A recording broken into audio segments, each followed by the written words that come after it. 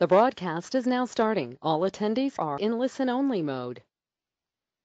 Well, hello, everybody. Uh, I'm, I'm, really pleased that you all could be with us today. Uh, we have um, a very important web webcast for us today.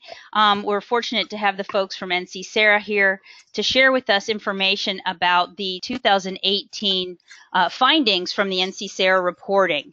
And so I'm going to uh, just share a little bit about how t- today is going to go. Um, we are going to move through um, all of the information from our presenters, and then we will take questions. And so I'll, I'll mention all of this again, but just to say that we will use questions from the question box at the end of our period. And if you could please, if you could indicate if your question has to do with enrollments, that's the IPEDS part, or placements and that was the new part that we started that was started just this year. So if you could maybe put that at the at the beginning as a tag then it'll help us identify what type of question we're talking about. So and we'll do that after the presentations. Um, the archive of the uh, recording and the PowerPoint will be available on the SAN website, and I will be giving it to the SARA folks, and they can put it on their website as well. I'm Cheryl Dowd. I'm the director for the State Authorization Network with WCET. And as I mentioned, we will take questions. Questions will be at the end. And just so that you know, if you're concerned that there are so many questions, because this happened before, that we haven't gotten to all the questions. But if you put the question in the question box, it is banked for us so that I can share it with the presenters and we can send out answers to the questions following the webcast. Again, I'm Cheryl Dowd. I'm the director of the State Authorization Network, and the assistant director, Dan Silverman, is with us today as well. Our presenters are Marianne Boeke, the Associate Director for Policy Research and State Support with NC SARA, and also Terry Taylor Straut, who is the CEO and Solution Architect for Ascension Consulting Group. And thank you very much, Marianne and Terry, for being with us today. I'm going to turn it right over to them with the agenda, and uh, whichever of you uh, wishes to take it away. Cheryl, thank you. This is Mary. I'm going to start us off today by just um, going over the agenda and then talking just a little bit about why we do this exciting and good work. Uh, and then I'm going to turn over to Terry because really she is the one that this last summer took that deep dive into all that data that you all uh, sent to us and and made meaning from it. So I'm going to let her take us on that journey. But first, let's just look at this agenda. We're going to go over the SARA requirements of data reporting, take a quick peek at the history and methodology, just so we're all on the same page. Then Terry's really going to dive into that enrollment report findings. We'll switch gears at that point and we'll look at the out-of-state learning placement report findings. We'll talk a bit about the requirements for 2019 and then we're going to just open this up for questions from the audience. And at the bottom here, we have uh, a note that the reports are available at that website. Um, they've been there for about a month, so they've been downloaded quite a bit. But if you haven't had a chance to do that yet, you might want to go and do that. Excuse not, me, Marianne. Uh, could we just check? We got a note from someone that they're not hearing sound. Um, I was wondering if somebody else could put into the box whether they're hearing uh, sound or not. Okay, they can hear just fine. I apologize. I just didn't want any information missed. And those of you that that shared, thanks so much. I really do appreciate it. Um, and then no. we're we're to speak a little bit, maybe uh, we're a little muffled, so maybe we need to be a little bit more articulate in how we're presenting. But just I was just noting that from the folks. So thanks so much for your help, and Marianne, I'm so sorry to have interrupted, but I just didn't want anyone to miss your good information. No worries. And you know what? Maybe I'll just turn my sound up a little bit. So everyone can hear me. Um, there we go. Uh, so I was just saying that those reports are available on the website. They've been there for about a month now, so still relatively new, but lots of folks have and downloaded those.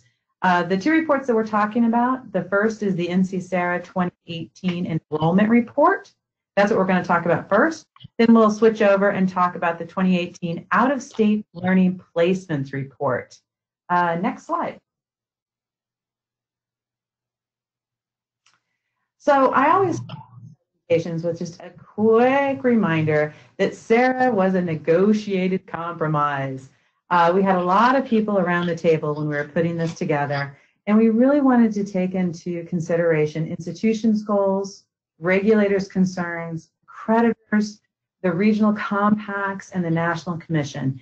And I know we've talked at length about all of those different um, players at NC SARA, so I won't go into that now, other than to say that data reporting has always been on the agenda for NC SARA. It was always a really important piece of the puzzle, uh, not only because uh, state regulators were interested in that, but because NC SARA and the regional compacts were as well. It's important for us to see um, how we're doing, and one way to do that is to measure the data.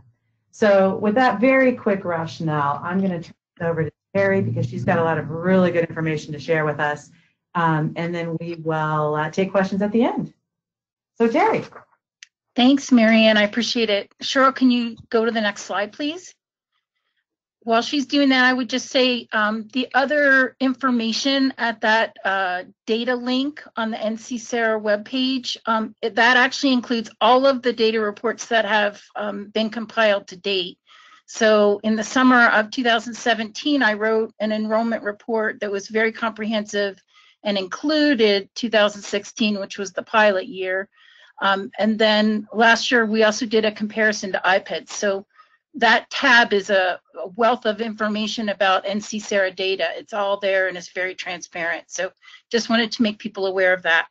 So um, in the current year, or the year that was reported in the spring of 2018, um, the state of Massachusetts and the state of Florida and the territory of Puerto Rico um, all became members of SARA. Um, but the only uh, Florida had an opportunity for the institutions in the state to apply. So that this is our current SARA map. I'm sure you've seen it before, but it's almost filled in. Let's just move to the next slide, please. And what I, I just wanted to kind of make some highlights about the enrollment reports and historic methodology. So in 2016, NC SARA was very clear in the instructions to not report cells that were smaller than 10. So if an institution had less than 10 students in a given state, they were to report zero. Uh, that was resolved by the 2017 reporting, although some some institutions do continue to kind of use that rule as an internal um, guideline. Not very many, most are really reporting all, um, but I did want to point that out. Starting in 2018, as you all know, we um, added the out-of-state learning placements uh, reporting as well as the enrollment reporting. And this little graphic just is a reminder for those who may be kind of newer to this data. What the way the timing works is a, the student enrollment happens, for example, in this graphic in the fall of 2015. In the fall of 2015 is also the deadline to IPEDS to report those distance education enrollments. And then those same enrollments are reported to NC SARA in the spring of the following year. So when we look at this data, it's roughly a half year's worth of data. It's not a full year, but the fall enrollment reporting is the only reporting that is distance education um, to IPEDS. So that's the reason for that. Um, I would also add that um, the response rate is super high. We had um, we had 1,804 institutions who were contacted um, to submit, and of those, 1,791 did for a 99.3% response rate.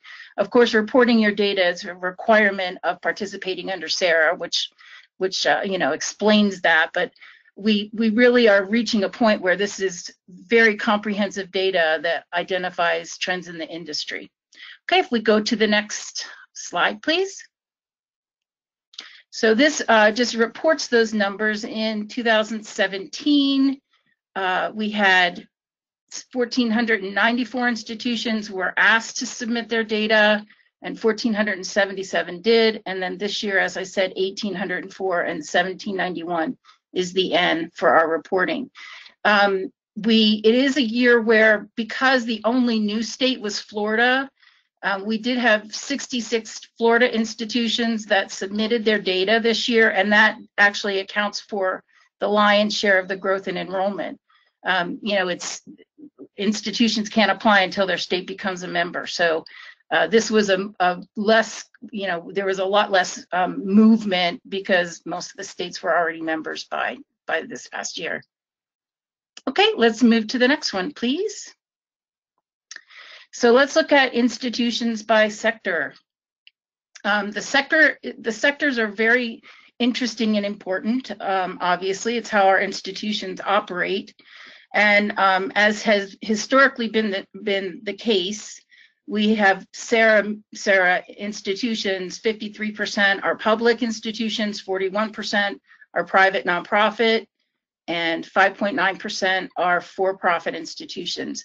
And these, the sector um, changes have been pretty much the same over time um, in terms of institutions. Uh, the one thing that's new this year is two tribal institutions um, began operating under SARA, and they, they, you know, they were small and there were only two of them. So they only represent 0.1%, but now we um, are reporting out the tribal sector as well as the others.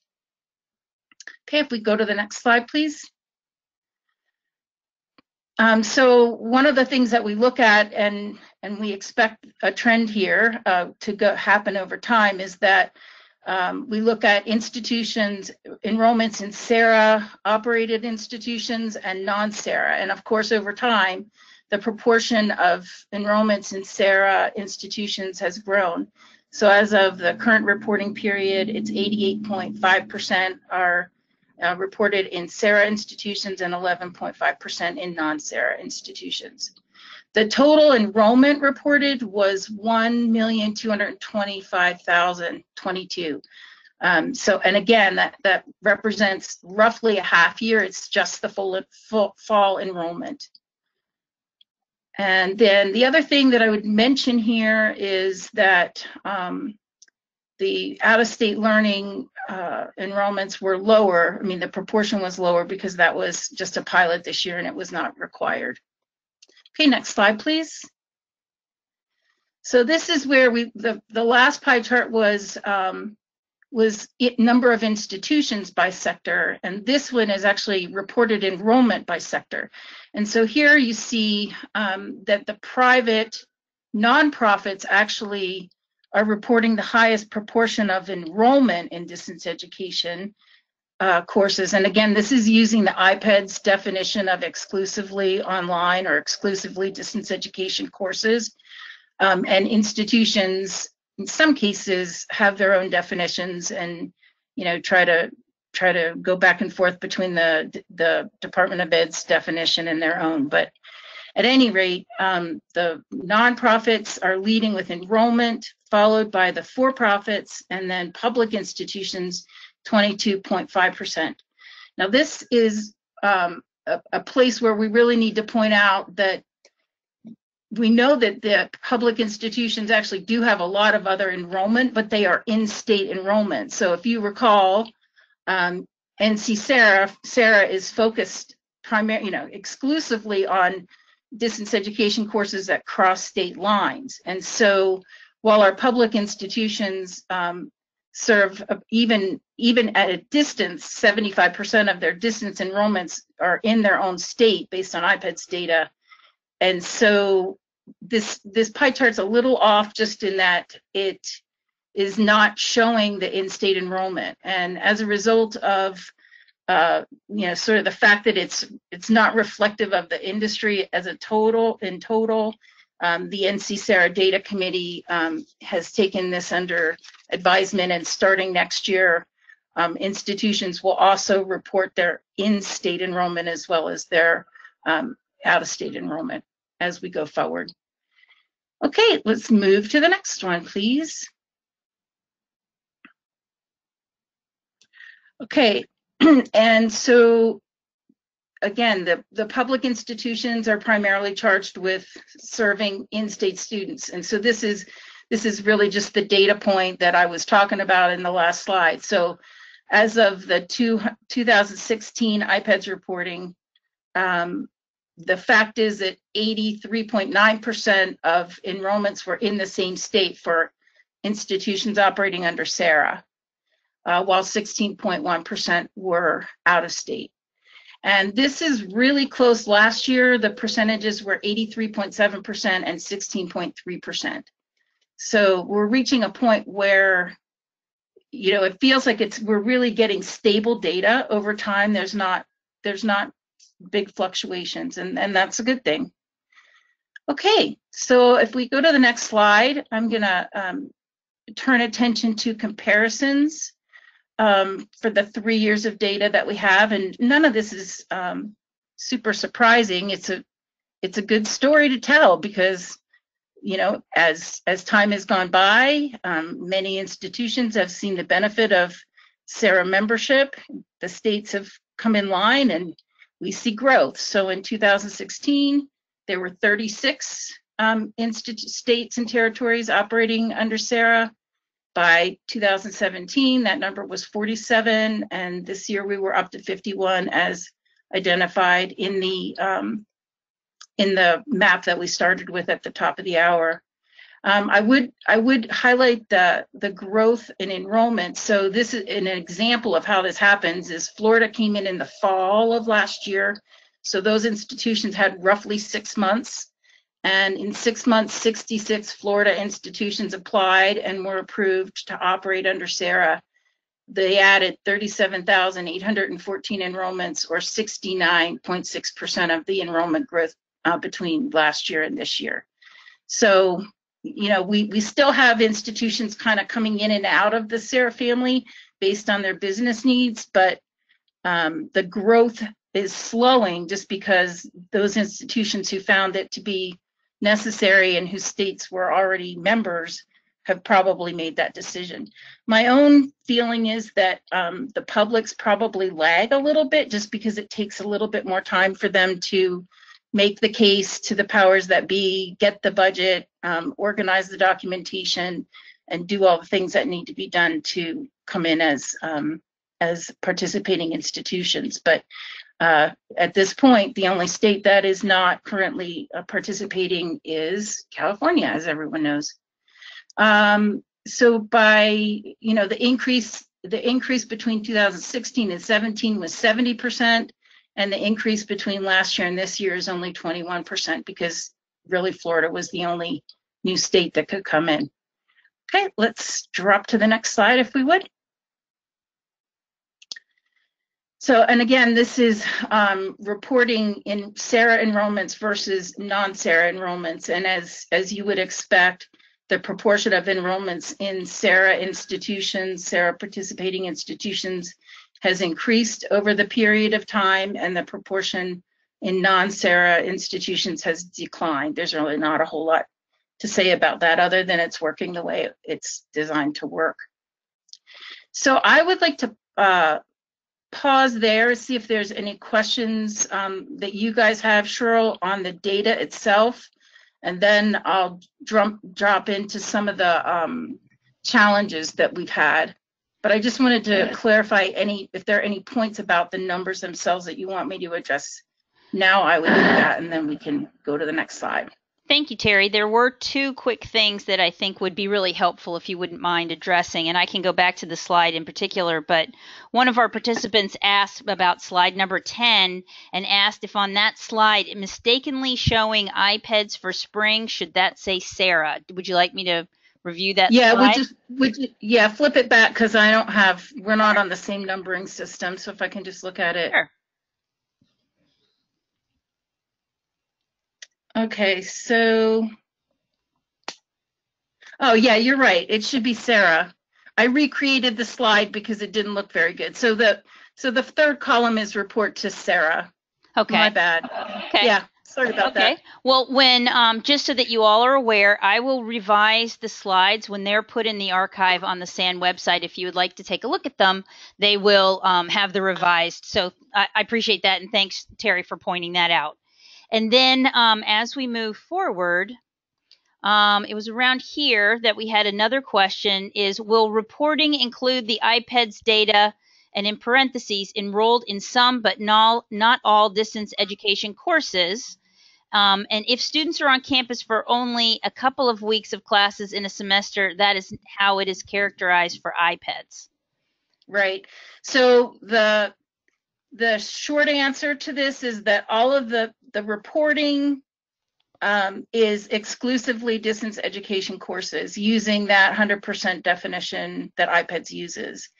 There's there's been a lot of other reporting. I, mean, I think it's really useful to look at the some but not all. Um, and in work that I did with WCET, we actually took some, you know, some but all, not all, and added it to exclusively and said any. And that's actually the number that um, Babson Survey Research Group has used for years and years. So the exclusively online or exclusively distance education is a much smaller number um, than the reality of the world that we live in, where students are, you know, uh, learning with multiple modalities all the time. But that's what the government says we need to report. And since SARA is focused on, you know, not duplicating efforts or making anything any more confusing, you know, than it already is, they adopted the the IPEDS definitions. So, and and it's actually a beautiful segue to the next the slide that I was on, which is IPEDS related challenges, because um, I think, yeah, there you go, right on the nose, right? So, um, their institutions have, in some cases, I've seen schools that had to count these things four or five different ways. Um, but the fact is that the directions say that institutions should be using the IPEDS definitions of distance education course. Um, there was some confusion, the second bullet point this year, um, there was an intention to start reporting the in-state enrollments this year. And so some of the instructions talked about in-state enrollments and others didn't. And so that was a particular confusion for this year's reporting. Though I will tell you that en- where institutions reported in-state enrollment, those that enrollment was zeroed out. It's not reflected in any of the reporting, but it will be next year. So look for a huge increase in, uh, in particular, in public institution enrollment next year because when we start to include the in-state, which is about 80%, um, that number's going to increase, you know, hundreds of percent is my estimation. Um, there remains confusion about how to report military students. Um, this this is covered in the instructions, but people still are having trouble with it. And I I may, Marion, if you wanna, when you start speaking, if you would address that one because I I don't know that I know all the ins and outs. I'm just still seeing comments about that. Um, and then there's a there's confusion about the territories. So the current report, uh, the current survey form actually includes some of the territories, but not all of them. And then there's another um, field that's like other US territories, and, and people are just confused about that. So one of the recommendations is to ensure that we have a, a data field for each of the territories and maybe even get rid of the other field or if we keep it to be very clear about what to put there. People are even trying to report their international enrollments at this point. Like, where do I put Canada? You're just like, okay, let's, I'll take a deep breath and remember what the parameters of this is. So, um, so there's just, you know, there's, there's just still some confusion. I think, I think it comes because people are supposed to disaggregate what they reported to IPEDS and they're really trying to make their numbers match which i you know as a numbers person i really appreciate that attention to detail. And people will even put in the comments field why it's off by three which i think is a testament to how seriously people are taking this work and um, how transparent they're willing to be with it. So we've come a really long way i feel like in two years you know regarding the process and how the forms work but we still you know, I think if we could clean a little bit of this up, it would be very helpful. Um, so let's go to the next slide. So those were the the issues related to IPEDS specifically. Then there are just still some other kind of funky things. Um, this one I noticed when I first started working with this data the summer before last is um, some of the data forms alphabetize the states by the name of the state and other in other places it's the it's alphabetized by the abbreviation of the state name. And that puts things in different orders. So one of my concerns is just being as clear as we can so that there isn't uh, there aren't any data errors on the input side because if you alphabetize there's a lot of you know there's a lot of difference if if you alphabetize in the different ways. And as people are filling in those forms we just want to make sure that they're really putting in what's in alaska and not in arkansas if you will. Um, there's some other challenges that people have that that they report. In some cases for example an institution may only offer courses in the summer. It's you know the way their programs are designed. They only do online in the summer in which case they're reporting all zeros because that's not fall enrollment, but it's also not a realistic assessment of, of what they do. Um, and so the other the other would be rolling enrollments. I know this is a problem for probably a larger number of institutions, is they may have courses that start every five weeks or once a week or whatever. And so that date on a calendar that says fall enrollment ends on, you know, whatever date in October is false in terms of the reality of what their enrollment looks like, but it's the rules that they have to live by. Um, and as I'd mentioned before, there are some institutions who are still not using the requested reporting strategy of reporting all all enrollment in a state, regardless of how small it is, um, due to privacy issues. So, so that's um, that's the end of my comment. Marianne, I'd ask you to um, jump in on the military bit and then um, we can take some questions and then turn attention to the learning placements. Yeah, sure. Um, so for the military one, really you just report as you do to IPEDS, which I know is frustrating because in that case, and or in many cases, then you won't be reporting it. For the enrollment, or I'm sorry, for the learning placements, we'll talk about that piece um, in just a few minutes because that is a little bit different. Um, I would also just have a big thank you to everyone. Even though we did have some reporting challenges, for the most part, this year's data collection went very, very well, at least from the NC SARA point of view. Um, institutions did their reporting on time. We had very few questions, honestly, that we got on the phone or in email. For the most part, folks are getting the hang of this and kind of know how to do it. They've set some processes in place in their own institutions so they kind of have a handle on how to report some of these um, kind of more iffy type things that are on the fringe. But for the most part, it went very, very well. We're thrilled with the response rate. I will just say a quick thing about the non-reporters because I know people have questions about that. We are aware of who those non-reporters are. And let me tell you, out of those 13 people, or 13 institutions rather, I would say 10 of them actually called or emailed us either before the um, the window closed for reporting or soon thereafter and said, hey, we've got a problem and can we talk? And we did. And none of them were repeat offenders. They all had very, very good reasons for what happened. We've worked with them so that next year they're going to be able to do this um, there were even a few cases of some technological glitches that happened, and this does happen. So, um, you know, we're here to help you, uh, not to throw you under the bus or to punish you, but I just want people to know that those folks or those institutions that didn't report, we're very upfront about it. We know who they are. They're on. They're on board for next year, and all should go well. Um, but for the most part, we're very, very happy with the enrollment report and with the good work that, that you all at institutions really did. So great job with that, I'll throw it back over to Terry. Great. Okay, well then let's move on to learning placements.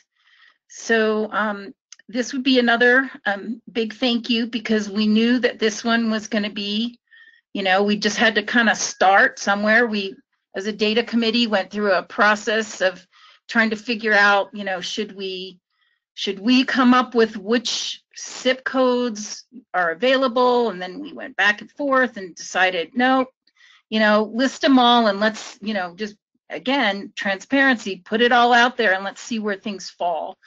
So it's important to understand what the learning placements are. I, I think probably most of the people on the phone are fair, fairly familiar with this, but you know, there, it's an important part of of programs. And so, um, and these learning placements have been happening across state lines for a long time. And it was, you know, nobody really has sense of the size of it or anything. And so this was a place to start. It was just a pilot. And, um, and so what happened is, if you go to the next slide, please, Cheryl.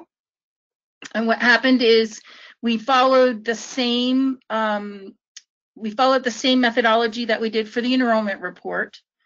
Um, and so a link was sent to the main contact for all 1800 and, 1804 institutions, uh, just as we did for enrollment. And, um, and they were sent a link. And so this slide really just talks about why. Why are we doing this? It's really not to torture you. Um, it really is because NC SARA promised at the creation of SARA, uh, there were promises made to um, the, the state regulator community that once we got the enrollment bit down, you know, and that, that reporting was stabilized and working, that attention would be turned to the out-of-state learning placements because um, everyone was concerned about this.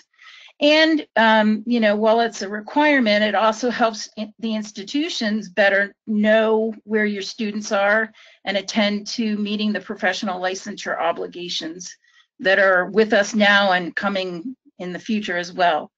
So, um, you know, it's kind of like vitamins, right? It doesn't taste very good, but it's good for you. And, um, and so this year was the pilot. We thought we'd start by letting people report if they, you know, if they wanted to give it a try um, and highlight those who did. And, um, you know, it was a low stakes a- attempt at reporting. Okay, if you go to the next one, please, Cheryl.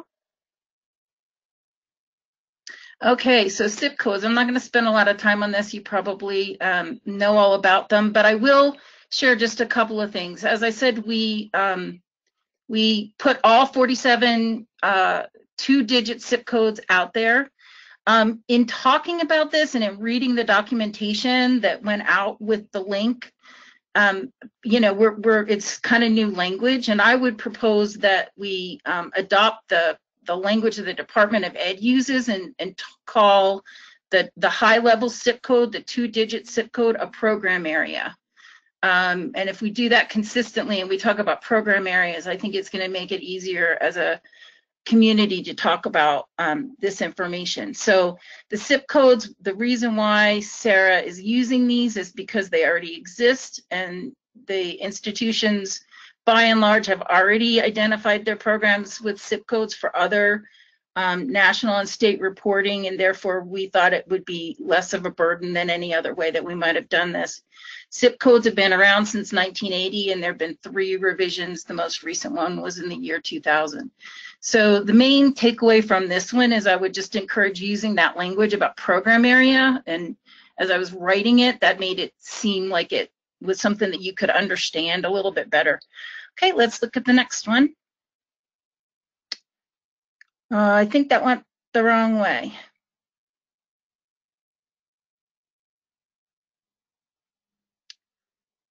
So it should be summary. There we go. So 297 institutions reported. Again, you know, reminder, this was just the pilot. Of those reporting institutions, 16% um, were uh, participating, and then th they reported 32,000, almost 33,000 total enrollments. Um, and we'll get into some of the comments and uh, you know areas for um, improvement for next year. Um, but again, it was it was a successful pilot, and uh, we we have a plan for how to do this next year when those numbers will be a whole lot bigger. So that's the summary. Okay, if we can go to the next slide, please. Um, one thing that we wanted to look at is, uh, you know, how did, were the institutions that reported out-of-state learning placements, were they representative of all of the SARA institutions? And considering this was a pilot and it really was just voluntary, I feel like we did a pretty good job with this. So uh, if you look at the graph there, public institutions, 53%, um, and reported for enrollment and 49.8% of public institutions or 49% of the institutions that reported out of state learning were public. So those the the sectors are um, represented in roughly the same um, proportion as uh, as they report they reported in the enrollment report, which was good. Um, and for those interested, I think one thing that might be helpful is at the very back of that out-of-state learning placement report, you'll find a, a literal, you know, multi-page listing of who those 297 institutions are. Um, we partly put them there to say thank you and, you know, shine a light on those who participated when they didn't have to. But we also thought it would be very helpful for other members to be able to look at that list and identify schools that are like them that may have some of the same challenges so that you can make those connections and start to create your own plan for how you're going to do this reporting um, in the spring of 2019, which is just around the corner. Okay, next slide, if you would, please. So to get into the data itself, um, we, and again, this is the proportion who reported out-of-state learning placements versus the, and the proportion that reported enrollment. So as we said before, the tribal institutions, that was, that's a very small number. Um, but uh, this is the actual numbers that were represented in the chart before. So 148 public institutions reported out-of-state learning placement, 130 private nonprofits, and 19 independent for-profits for the total of 297. And then the next slide is where what what were the what were the placements in? And I don't think any of this was terribly surprising either. Um, health care by far was the largest with 62.5%.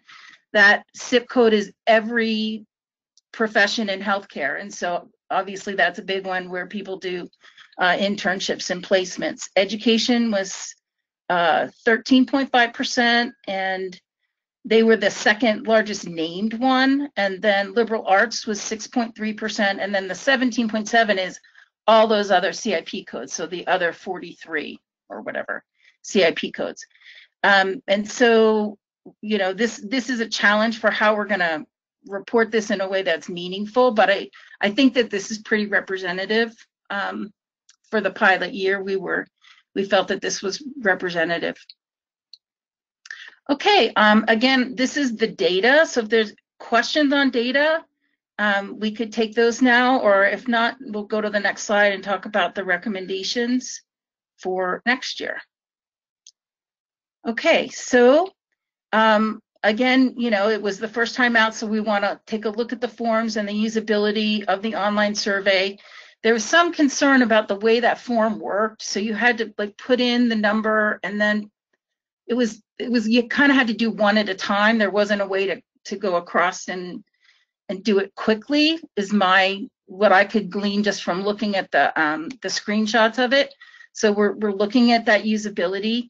Um, I already mentioned this issue of talking about um, the the CIP code, you know, high high end area as a program area. There were there were some other language that we had used, but that would match NCES's language in this area. Um, there were some people who couldn't figure out how to save as they went. And so we, you know, we just, we, heaven knows we don't want anybody in that frustration. Um, so, you know, again, we're looking at usability, looking at um, communicating the usability so that people um, don't throw their computers out the window while they're filling out our forms. Um, and then the comment field is something that that was instituted in the enrollment report for 2017, and um, and it's you know it's just an open-ended field where you can communicate back. So I would encourage people don't communicate a change in staff that way because you know, they're not going to get that, but it is a really good way to um, explain the differences or any confusion that you have. That comment field helps uh, identify trends, you know, as they're coming so that um, so that we can keep improving the process. Um, and then, you know, communication is always an important bit. So we just want to make it super clear that um, th this will not be an optional activity for 2019 reporting based on 2018 IPEDS reporting. So that is, um, those are the points that I wanted to make, Cheryl. on that. Um, the last is out of reporting requirements. I think I'll turn this one back over to you, Marianne, if you would.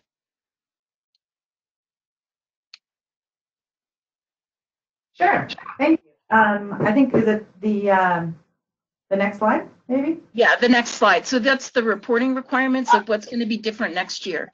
That feels Right. like, that feels yeah. like, Makes sense, makes sense, thank you. Um, first, let me say thank you, thank you, thank you to those who did do this voluntary um, placement data reporting. Really, so, so needed you all to go in there and just play with the forms, play with the format, give us your, your constructive feedback. It was so helpful to have that. And I would point out that we did get feedback from a variety of sources. So we did have that comment field um, on the survey itself. Terry mentioned that. We got a lot of really good comments there. But a few folks uh, sent comments to their uh, state portal entity, and still others sent them to their regional directors and their compacts. And those comments and questions and concerns were kind of rounded up and sent to me uh, in mass, if you will. So I have those as well, and we've gone through all of them. And we will be looking at all of these comments um, at the data meeting, which we're going to have in early December. But let me just talk a little bit now about reporting requirements for 2019, and that is the big one, that the out-of-state learning placement reporting will be required. I know there's been some chatter about um, would that perhaps be postponed a year? Would we perhaps have another volunteer year? Uh, but the board met and decided that no, this is absolutely mandatory starting in 2019, particularly since the 2018 voluntary placement reporting did go so well. Like I said, we got a lot of really good constructive feedback. But believe it or not, for the most part, folks said that given a few tweaks here and there on the usability of forms, it was pretty um, straightforward. They they knew what to do and they they put the numbers in, so that was that was really useful. Uh, in-state enrollment will be required. So Terry talked a little bit about that earlier on the um, the 2018 enrollment report that we had some institutions report their in-state enrollment. Um, and next year that is going to be mandatory, so we'll be asking for that. And a few people have asked me kind of at conferences and in sidebar conversations, gosh, won't that really change the data considerably? And the answer is yes, it will, but, and this is a big but, and that is that we would never just add those numbers in without explaining it. So we're still going to be reporting the numbers as you saw them in the 2018 enrollment report. So if we were 1.1 million last year and 1.2 million this year, you know, next year I expect us to be at, you know, 1.4 million, then we will have a separate column that explains the in-state enrollments um, so that we're not, you know, confusing the data as we move forward. And finally, the timing of reporting window may shift. We heard a lot of folks tell us that uh, the end of May, early June was a little bit problematic. There's lots of vacations scheduled around there. Lots of graduations are happening around there. You know, we're never going to pick the perfect window, but we may shift it a little bit earlier just so that we can analyze the data a little bit quicker and have it out um, at the beginning of the academic year instead of in mid-October. That has not been decided. We're still talking about it, um, but we'll see how how that kind of plays out as far as deadlines. And of course, we'll always let you guys know what's happening. Let me talk just for a minute, Cheryl, if I may, about the data committee meeting, um, and then we'll then we'll turn it up to uh, to questions. But we have a, a group of folks that are part of our data advisory committee. There's about seven of them now. We're trying to add an eighth one. These are data folks that represent all different and sizes of institutions and data houses, if you will, from across the country. We ask them to meet face to face once a year, and then we do have contact with them via email throughout the year if issues come up. So what I've done is put together an agenda for our next face-to-face meeting, which is scheduled December 3rd and 4th of this year, so just in a few more weeks, based on the comments, uh, suggestions, uh, and just general issues that came up for both types of reporting. So this is going to be a pretty intense uh, meeting. We're going to be talking about definitions, clarifying language, uh, thinking about the parameters that we have on the, the data, and how we want to have you um, submit it and how we want to collect it and how we want to analyze it uh, and all those good things. So as soon as that meeting's over in early December, then um, we'll all get together at SARA House here and, and put together some good information that we can share with y'all in early December. But let me assure you that nothing major will change. We are not going to go um, to a different way of looking at CIP codes. We're going to use the same 47 ones. We're not going to go to the six digit ones. Uh, we are still going to ask you to report next year. It'll be in the May, June timeframe. Um, nothing major will change, but there, what I'm hoping is that I'm going to have a lot more clarification, a lot more definitions in that data guide that we hand out to everyone so that um, things are a little bit clearer. And also have some clarification on some of the things that we asked you to do in the forms themselves. Because even I was a little bit confused about um, what to do with all those territories that aren't in SARA yet. So we were going to clean that up and, and, make sure that we're asking things in, in a clear way. So with, with that little uh, information about the, the Data Advisory Committee, I will turn this back over to Cheryl and see if she's got some questions for us. Oh, that was wonderful. Thank you. Thank you very much, uh, Terry and Marianne, uh, for such an in-depth explanation of the reporting that occurred for 2018. We do have a number of questions, and we're going to go back to when we were talking about um, the enrollments. So it's earlier in the in the uh, conversation, and uh, this particular question is uh, it refers to when there was discussion about reporting for next year. The the term next year was used. So um, the person is asking, does next year mean reporting in spring 2019 for calendar year 2018 data, or does it mean spring 2020 for calendar year 2019 data? That, that's a good question. Um, and sorry for that, that we, we weren't clear there. Uh, so we're talking about reporting year 2018 data in the spring of 2019. Okay. Um, another question. Did I say that right? The fall 2018 data for this, you'll be reporting all your fall 2018 data in the spring of 2019. There, I think that was better. So per the per the data guide that will be coming next is what I think I understand you saying. Yes. Right. No change. There's no change. It's exactly the way it's always been. So activity happens in the fall of a year and is reported to IPEDS that same fall. And then that same data is reported to NC SARA in the spring of the following year. Disaggregated by state and territory. Okay. Um, the next question is where can one find the IPEDS definitions? Uh, they're actually right in append. I think it's the first appendix of the enrollment report. All the definitions are there. Okay. Uh, the next question is Could you talk a little bit about the rationale for requiring in state reporting since those activities aren't covered by SARA? What is the purpose for that um, reporting? Sure. Um, so we're going to start asking folks to report in state online reporting, distance education reporting in their state. The rationale is really twofold. The first is that that is it is online, and we wanted to to kind of capture that. But the second is that really um, institutions, believe it or not, were the were part of the reason we were thinking about this. Is that the mission of most public institutions is really to serve the citizens of their state.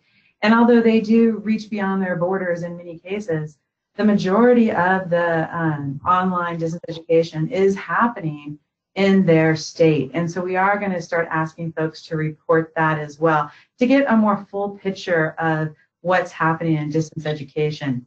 And I might also turn this over to Terry to see if she has something to add on that, um, because I think she she touched on that for a moment in her um, her presentation earlier. Yeah, thank you, Marianne. I think that um, I think that NC SARA is uniquely positioned um, for the data reported by member institutions to to essentially become the de facto baseline data because um, as as we've talked about all the limitations of IPEDS, um, you know, bef- before we had IPEDS distance education data, um, people kind of pulled information from different places. And, and so, you know, the, the population of institutions um, that report to IPEDS is around 4,400.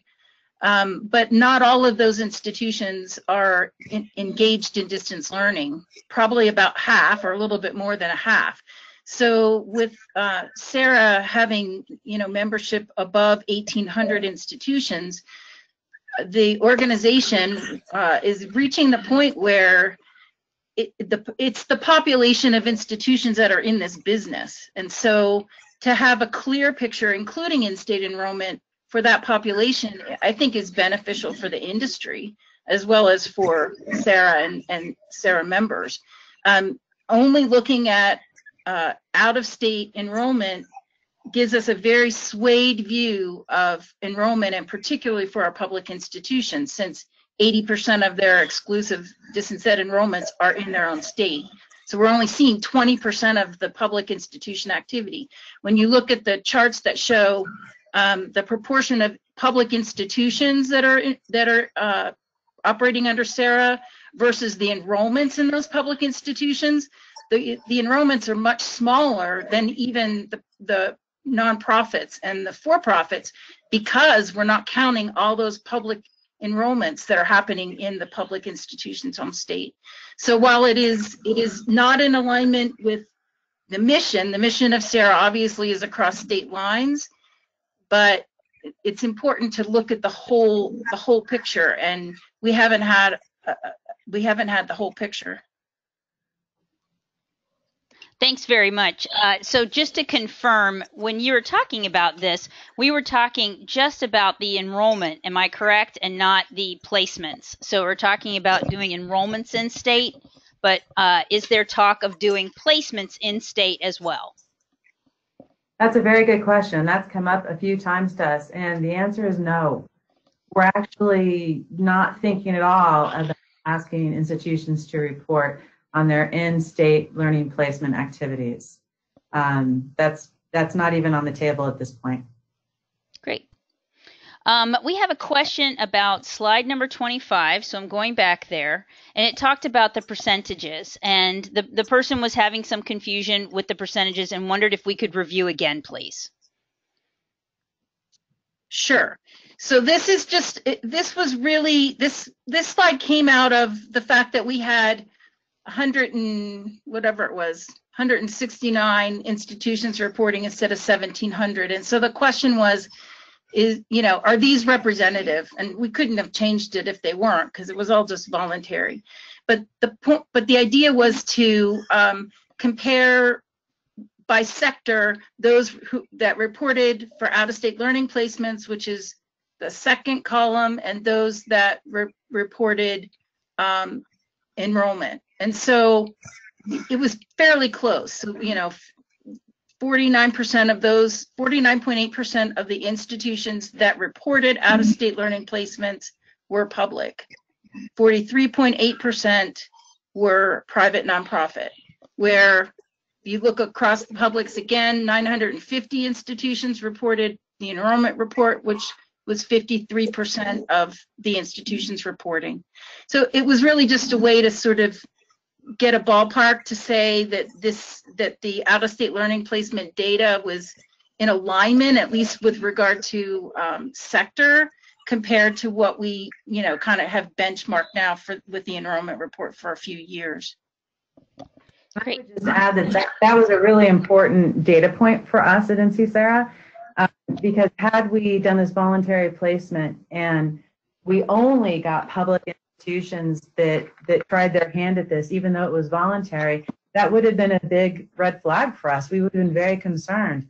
But what's nice about this um, is that we've got folks from different sectors inputting this data, which which said to us that, oh goodness, this is great news because we've got large public schools doing it. We've got uh, mid-size private schools doing this. We have for-profits. We have small religious institutions doing this as well we were so pleased about that because, um, you know, not only did it kind of represent to us that, that folks were willing to try and, and do this, which was wonderful, but it also meant that they, they could do it.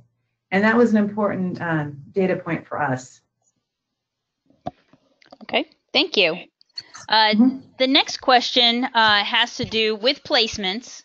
And uh, so, uh, well, somebody actually wanted to know: Is there an IPEDS definition of out-of-state learning placements? Is that is that something that should be of, a, of an issue at this point? Hmm, I don't think so, Terry. No, I don't think so. I don't, I'm not aware of IPEDS doing any of this, which is why the NC SARA Data Committee came together, you know, with the handout of all the CIP codes and said, okay, how do we take the first bite out of this elephant? Right. This, this data, having those 32,000 placements reported, there is no other data like that anywhere publicly. Now, for those of you who've been in the state authorization business a long time, remember that this sort of reporting, this out-of-state placement reporting, did in fact happen on a state-by-state basis. Um, there were many states that required it um, as part of your state authorization um, certification, if you will. But it wasn't public. This, the, the states that collected that data kept it for their own internal records, and that was fine. Um, the difference here is that we're collecting across the country, but we're also making it uh, publicly available. So that's that's the big difference. Thank you. Uh, we're, we're just going to take one more question at this point because we're, we're getting close to the end and we need to be able to um, to sum up and answer this last question. But I wanted to point out to all of you that I am aware that there are a number of questions that are still um, listed here. We have all these questions and we will be sharing the questions with Marianne and Terry uh, to be able to get an answer. And on the SAN website will also then be um, the list of uh, question of answers to these questions that were posed um, that we're not going to be able to get to during this time period. Um, so here, here's the last question. Um, do we re- so this this uh, participant is asking do we report out of state placements in just major field of study and also the the follow up to that is do we report out of state placement in general education courses Yeah. So this this is a question that actually has come up a few times. So for this last reporting period in 2018, the answer is yes. That is what you did. Um, moving forward in 2019, um, it's a question I have on my uh, on my list of things to go over with the data advisory committee. But I'm guessing that the answer is going to be yes, at least for this next year. For those of you who are who are kind of new to this or who perhaps didn't do the, the learning placement reporting, um, just talk for a second about what this question means. They're wondering if, in particular, teacher education or allied health could be broken down into other categories instead of the broad category. Um, whereas I've had other people ask if some of the other um, other internship and placements could be collapsed to kind of play with those CIP codes a little bit.